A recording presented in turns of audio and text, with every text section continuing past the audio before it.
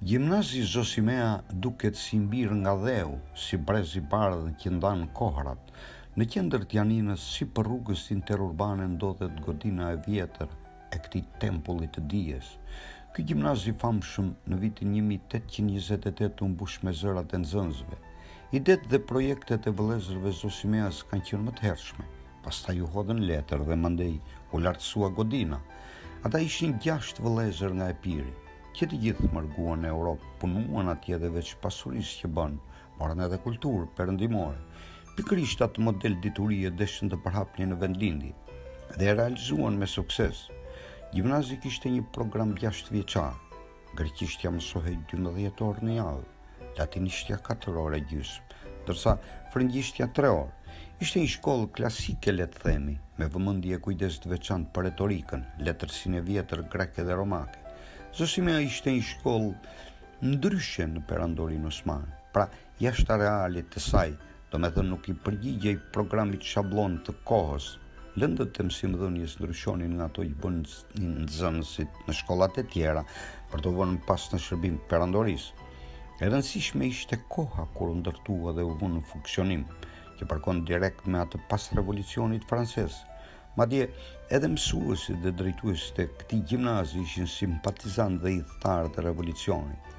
Ata përhapnin në shkollë idetë e Volterit, të Rusoit, e filozofëve të tjerë të epokës së re, Sami Frashëri në enciklopedinë e tij Kamus Alalam të botuar në vitin një mijë e tetëqind e tetëdhjetë e nëntë. Këtë shkollë e vlerëson si idadije, e përsosur, speciale për grekët, që në fillim, por veçanërisht më pas, në fund të shekullit nëntëmbëdhjetë dhe në fillim të shekullit njëzet, pikërisht në këtë shkollë, Ishte qendra ku në forma të ndryshme ushqehej ndjenja dhe dashuria ndaj çdo gjëje shqiptare. Mësuesit e saj ishin figura të njohura dhe të ndriçuara të kohës. Dy nga drejtorët më të njohur e të përmendur ishin Anastasios Sakellarios dhe Athanasios Psalidhas.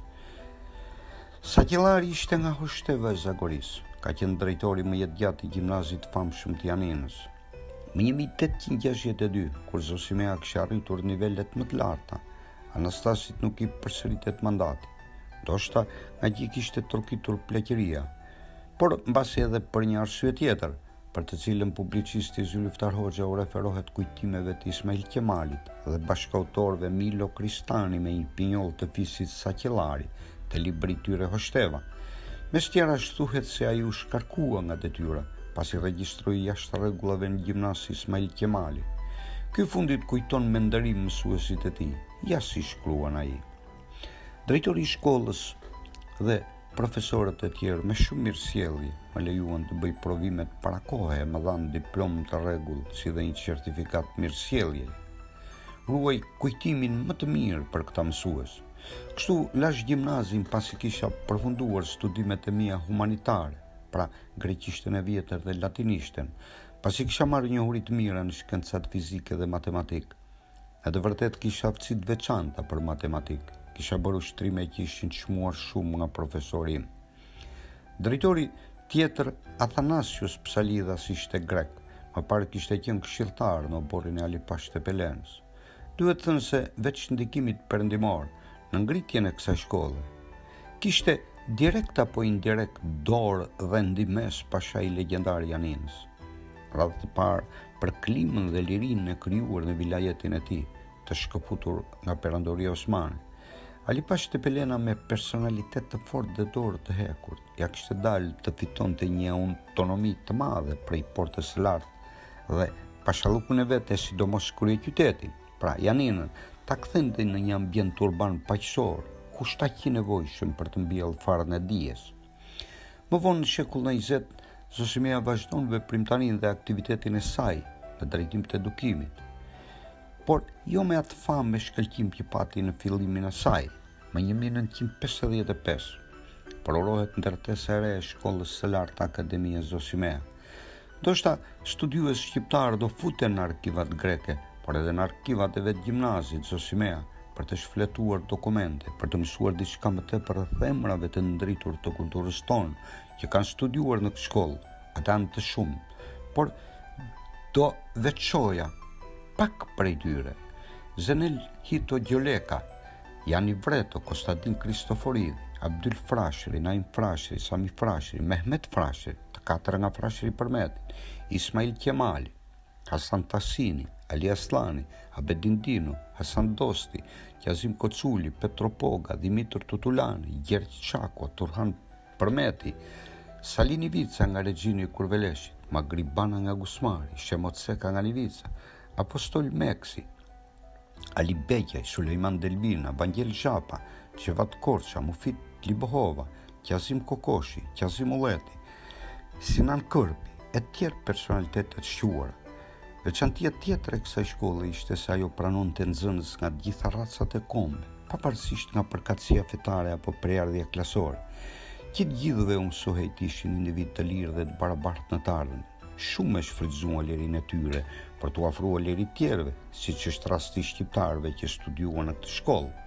Fëmijët e familjeve nga Zagoria kanë qenë më të privilegjuar, ndoshta ngaqë ishte afër Janinës dhe arsyeja tjetër mund të ketë qenë se për një kohë relativisht të gjatë drejtori i gjimnazit ka qenë zagoriti Anastas Saqellari..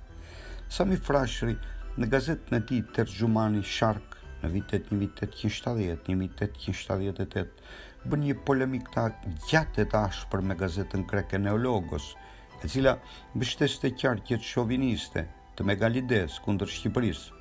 Veç tjerash, kjo gazetë lëshon një lumë akuzash personale ndaj Samiut, arrin deri atje sa i thonë se edhe mendjen e ka nga ata, grekërit, duke i përmendur gjimnazin Zosimea, ku ai kishte studiuar në rini. Sipas gazetës në fjalë, Samiu kishte harruar bukën që i kishin dhënë grekët. Pas kësaj, Samiu përgjigjet, Shyqyr Zotit, nuk kemi patur nevojë për të na ushqyer të tjerët. Ne s'kemi marrë bursë apo ndonjë lloj ndihme greke. Për ne ka shpenzuar vëllai më i madh, Abdyli, që na kishte nën mbikëqyrje e kujdes. Ne nuk jemi rritur me edukatë greke, vetëm kemi mësuar gjuhën greke në një shkollë greke. Ne nuk kemi ndjekur këtë shkollë për t'u ushqyer si epitropos, po për të marrë kulturë. Mos u dashka vallë që një njeri që ka qenë në një shkollë greke e cila gjendet në territorin e Perandorisë Osmane, ose edhe në territorin grek, të tradhtojë origjinën dhe kombësinë e vet për të përkrahur pretendimet e padrejta të grekëve? Faleminderit që më dëgjuat.